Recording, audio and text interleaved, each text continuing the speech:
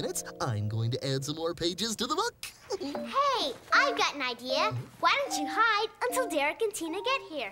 Then you can pop out and surprise them with the book at just the right time. Yeah. Oh, that's a terrific idea.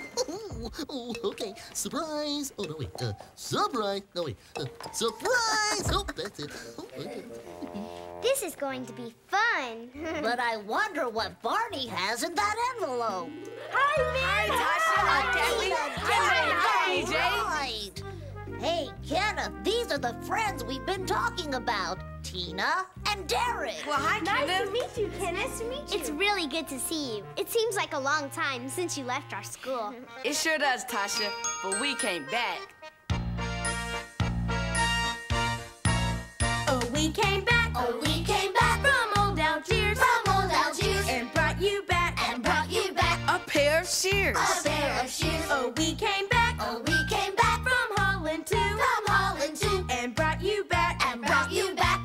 And shoe.